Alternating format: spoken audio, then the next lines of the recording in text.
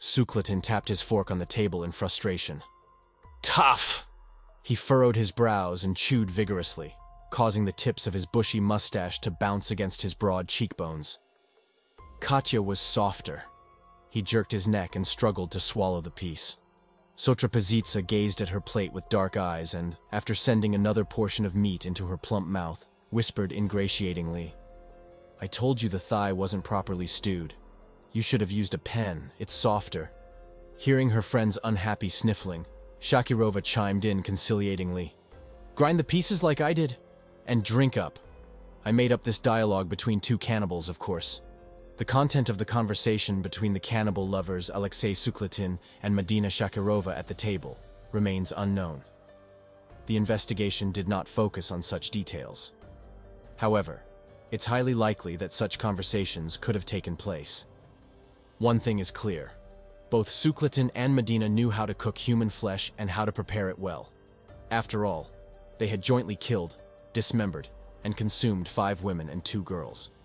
Furthermore, the male cannibal engaged in sexual acts with the victims before skinning them. If such a story were to unfold today, it would be covered extensively by newspapers and magazines, capturing the attention of millions of TV viewers. However, during the period when the Kazan cannibal operated, from 1981 to 1985, information on such sensitive topics underwent strict review by relevant authorities. Only a few details managed to reach the public, yet even those were more than sufficient. Sukletin, employed as a watchman in the suburban gardening community Kainlik near Kazan, possessed a striking appearance, tall, broad-shouldered, with prominent facial features and a thick mustache.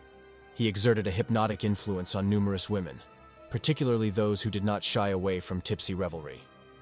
When unsuspecting victims agreed to visit the cabin of this irresistible, handsome man, Sukletin, in conjunction with his compliant partner Shakirova, would brutally murder them, and then employ their flesh to create kebabs, cutlets, or boiled shurpa. Sukletin had a distinct approach for each victim.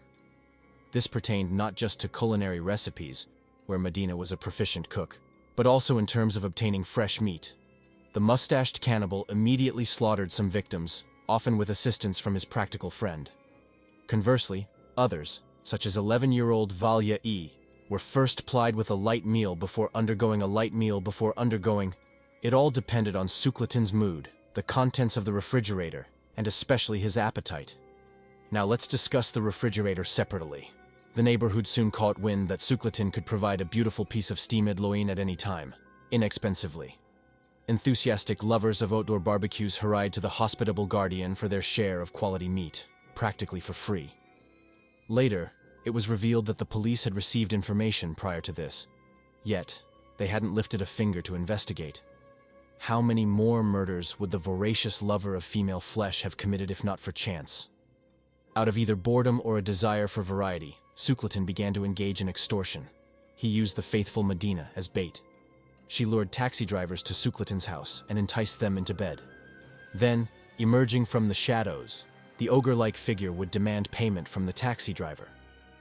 The profits varied, and the friends found genuine amusement in their activities. Meanwhile, extra money didn't hurt either. However, one driver, who was given until the next day to collect the demanded amount, reported the incident to the police. Sukletin was apprehended, and during the subsequent search of his residence, the passport of one of the murdered women was discovered. As the investigators continued their excavations in Sukletin's apple orchard, they unearthed four sacks filled with human bones.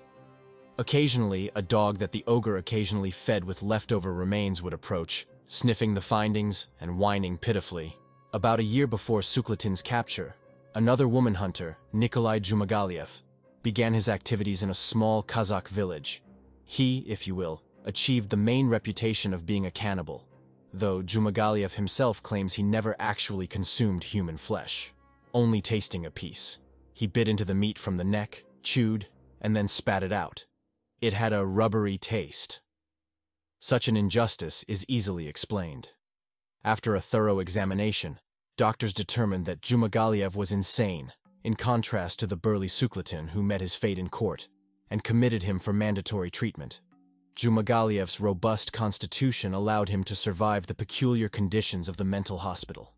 He outlived the era of perestroika and glasnost, becoming the focus of a parade of filmmakers and writers eager to tell the world about the true Soviet ogre.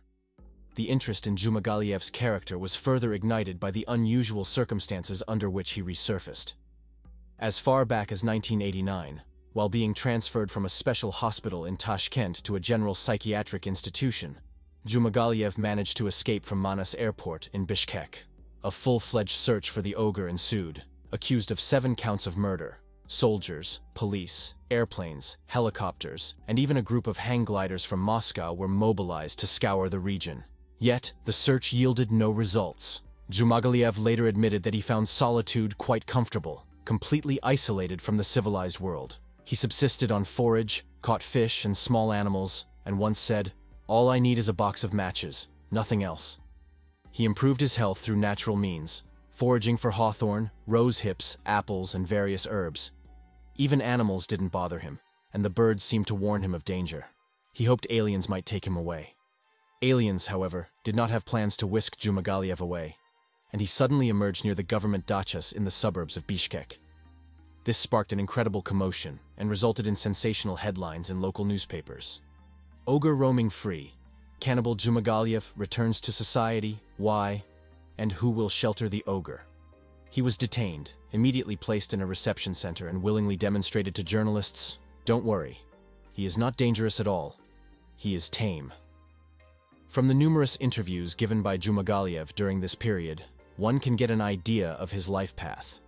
Nikolai Jumagaliev was born on January 1, 1952, although according to other information the date of birth, November 15th, in the village of Uzun-Agach, Jambul district, Alma-Ata region.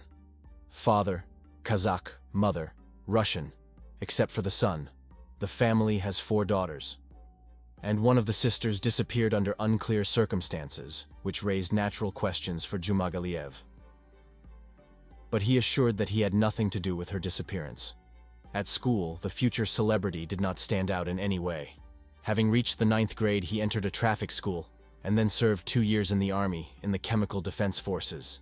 In 1974, he was demobilized, stayed at home for about a year and a half, and, having made an unsuccessful attempt to enter the Institute of Geological Exploration, went to the north to earn money. Jumagaliev's wanderings lasted several years, and largely shaped his attitude to the world around him and his assessment of the moral qualities of his future victims, women of European descent. He sailed as a sailor in the Atlantic, worked in Murmansk, Salekhard, as an electrician at the Pechora State District Power Plant, visited Yakutia, worked as a bulldozer operator in Aldan, participated in expeditions in Komi, made his mark in Chukotka, Bilibino, and Magadan, he did not stay anywhere for long, maximum two or three months, and then a new search. They pay pennies, and the labor is hard, he recalled. In 1978, he finally returned home to Alma-Ata region, where he got a job in the fire department. From then on, Jumagaliev had the idea of fighting matriarchy. In his opinion, women in the north looked more like men, were rude, bullied geologists, behaved arrogantly, smoked, swore, slept with anyone. In short, they did not live as Islam dictates. So Jumagaliev began to restore order. He chose the first victim because of her promiscuity. He made inquiries and passed a sentence to kill the infidel. The realization of the plan was not easy, and Jumagaliev had been preparing for the murder for two years. Here it is appropriate to break the chronology of the narrative. During the active search for the fugitive in the Alatau Mountains, Moscow was disturbed by a small article in the newspaper Chimes, which claimed that Jumagaliev had been seen in the capital and its suburbs. A little later, to stem the tide of rumors and panic, the competent authorities issued a denial.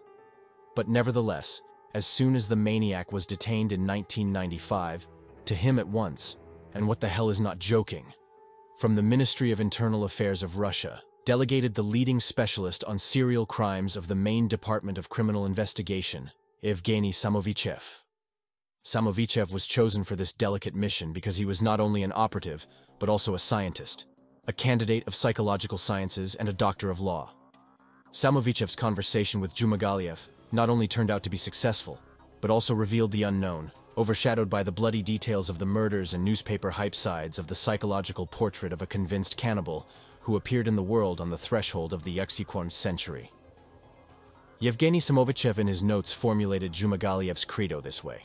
He is a wild animal embodied in the guise of a man. The basic structure is the dominance of the male, the law of nature. He will never understand or come to terms with human life. Zhumagaliev is the leader of the herd, the producer, intelligent and cunning, with a strong instinct for self-preservation. Even nature is on his side. Having been recognized as insane, he was left to live. He survived and kept his sanity during 12 years in a special type of hospital. Zhumagaliev's intelligence and ability to think logically can be judged by such an example. When he was hiding in the mountains and hang gliders were annoying him, Zhumagaliev thought of a way to mislead the search. He wrote a letter, everything can be found in shepherd's huts, and asked a loyal man to send it from Moscow to a friend in Bishkek. Let them think that Zhumagaliev lives in the capital. As he had hoped, the message was intercepted, rumors and press publications appeared that the ogre had moved to the center of Russia. The goal was achieved. The hang gliders left the mountains, the search stopped. And what is worth such a revelation? I took the side of animals, and did to people only what they do to animals. As for the circumstances of Zhumagaliev's story about the first murder, they reek of some kind of afterlife mysticism, a record made by Yevgeny Samovichev from the words of the maniac. It was dark. I was waiting on the street. Ten minutes before, the dog started howling. They must have sensed something. I caught up with her, a knife in my hand. She turned around. I stabbed her in the heart area. I dragged her about 10 or 15 meters away. There was a sudden noise. I lay down with her, then I dragged her further away, dismembered her and hid her in different places. I didn't burn her on the fire. I buried her and went home, satisfied.